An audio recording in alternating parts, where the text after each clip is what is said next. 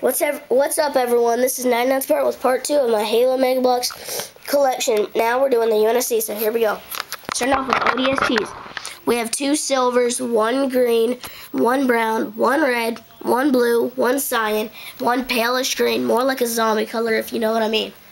Next, we have the Marines. We have two green, four red, one blue, two whites, two desert, one yellow.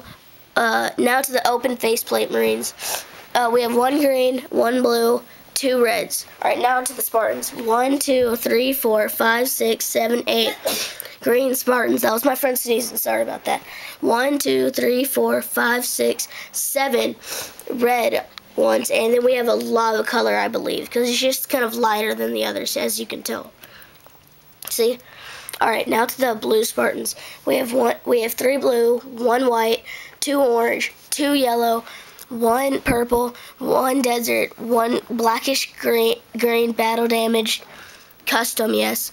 Um, one green active camo, one, I think you can barely see it right, uh, active camo EVA from the Assault on High Ground.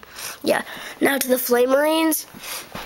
We have two greens, two blues, one red, one active camo from I think series two or three mystery. Yeah, two mystery packs. And now we have two. Now to the CQB Spartans. You can't really see it because the camera. They look like blue, but it's actually cyan.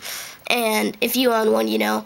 Two reds, one green, three pink Hayabusas, and one red. So that's all for the UNSC. And now I'm going to show you my Custom X team. And this is them.